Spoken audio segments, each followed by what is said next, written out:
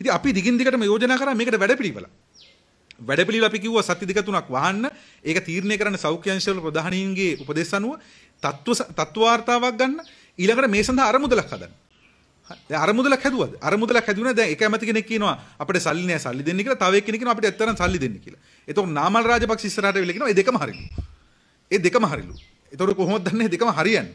එතකොට අපි යෝජනා කරා අරමුදලක් සකස් කරන්න කොහොමද අරමුදල හදන්නේ? අද ආජන්ටිනාවෙක් කරලා තියෙනවා. ආජන්ටිනාවේ ඊටාම කියන්නේ අපි කියපු මට්ටමින් නෙමෙයි ඊටාම අඩුම මට්ටම් තියෙන වත්කම් තියෙන අයගෙන් වත්කමෙන් කොටසක් වත්කමෙන් කොටසක් ලබා ගන්න ආජන්ටිනාවේ යෝජනාවක් ගෙනලා තිනවා. අපි කියන්නේ ඒ මට්ටම නෙමෙයි අඩුම තරමේ ආණ්ඩුවලට පුළුවන් පහුගිය අවුරුදු පහේ නොගෙවු වදු තියෙනවා රුපියල් බිලියන 300ක් විගණන වාර්තාවලට අනුව. පහුගිය අවුරුද්දක තියෙනවා රුපියල් බිලියන 100කට ආසන්න ප්‍රමාණයක් නොගෙවු බදු. නොගෙවු බදු අය කරන්නේ නැත්තේ. ඇයි මේ මිනිස්සුන්ට මේක පටවන්න හදන්නේ? ඇයි මේ සාමාන්‍ය මිනිස්සුන්ගෙන් මේක කරා ගන්න හදන්නේ? ඇයි අර කෝවිඩ් මුදල හදලා ඒකෙන් බිලියන එකම බිලියන එකයි දිශමටයි හම්බුනේ. ඇයි එතනින් කොල්ල කන්න හදන්නේ? ඒකනුත් මොකද්ද කරේ අන්තිමට අර ඇම්බියුලන්ස් ගෙනවා කියලා ගිලන් රථ ගෙනවා කියලා ඒ ගෙනාපු ගිලන් රථ වලට මිලියන දෙකක් වියදම් කළා. එහෙම ගිලන් රථ මේ ලෝකෙත් නැහැ. අතරම ලොවෙත් නැහැ. ඒ ඒ ගාන ඒ ගානට තියෙන ගිලන් රථ. ඒකට උත්තරයක් දුන්නෙත් නැහැ තාම. එතකොට ඒක ඒක ඒ පැත්තෙන් ඒ ප්‍රශ්න දිනවා. ඊළඟට මේ ඔක්කොම තීද්දි ආයි හැදිලා තියෙනවා මේ ඇමති නඩේටයි මේ ඉන්න පාර්ලිමේන්තු නඩේට රතගාය. දැන් රතගායට වාහන ගෙන්නන්න දැම්මා ගෙන්නන්න හැදුවා. දැන් ඒක ආවා හාහුවක් සමාජ විරෝධයාව. එතකොට මේක නවත්තනවා කියලා කිව්වා. අපිට ආරංචි මේකට LC ඕපන් කරලා තියෙන්නේ කියලා. අපිට ආරංචි LC ඕපන් කරලා තියෙන LC ඕපන් කළා නම් මේ මේ මේ නතර වීම වෙන්නේ තව සතියක් දෙකක් මේකේ උණුසුම් බහැලා යනකම්. ඒක පස්සේ ගේනවා. එතකොට අපි අහන්නේ දැන් මිනිස්සුන්ට කහ නැතුව හොදි කන්න කියලා කියපු ආණ්ඩුවක්. මිනිස්සුන්ට මේ ටික ඉවසන් ඉන්න කියලා කියපු ආණ්ඩුවක්.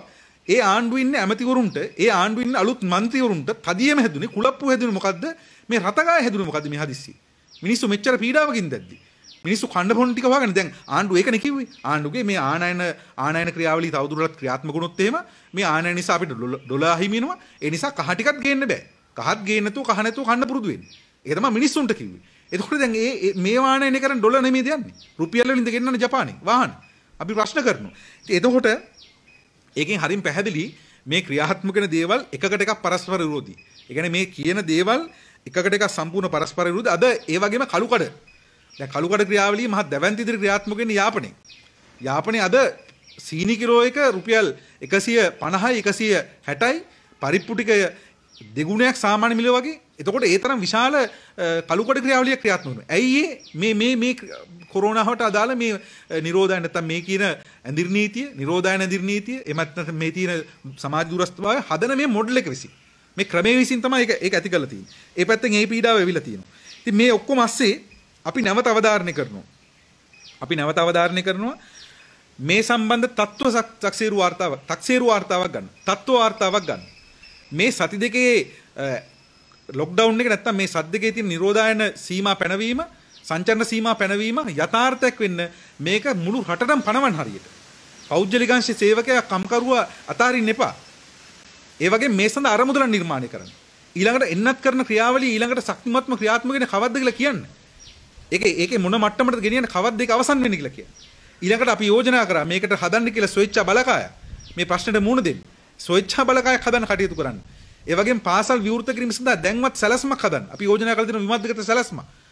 ඉතින් මේක මේ මේ මොකක්වත් ක්‍රියාත්මක වෙන්නේ නැහැ. අඩුම තරමේ දැන් රෝගියෙක් Taman රෝහලට ගියාම සමහර රෝහලින් බාරගන්නේ.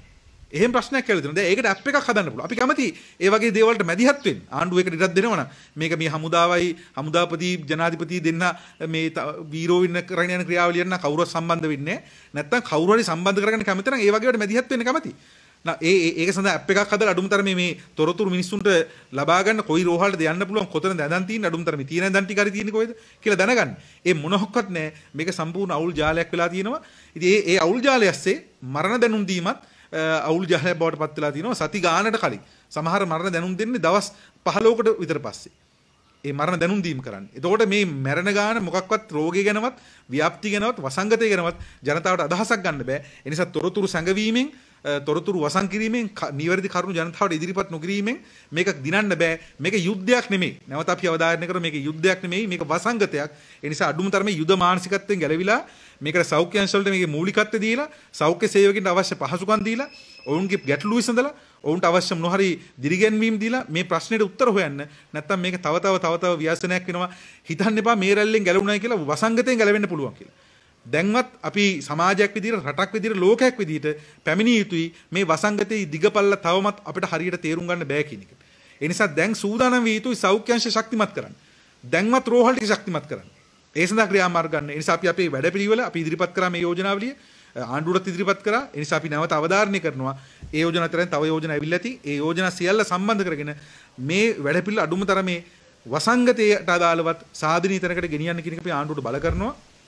ඒසත් බලාපොරොත්තු වන ඉදිරියේදී අපි ගෙනාපු යෝජනාවලිය වටා මේකට සම්බන්ධ සියලු බලවේග ඒකරාශී කරගෙන ඉදිරි ක්‍රියාවලියකට අවතීර්ණ වෙන්නේ.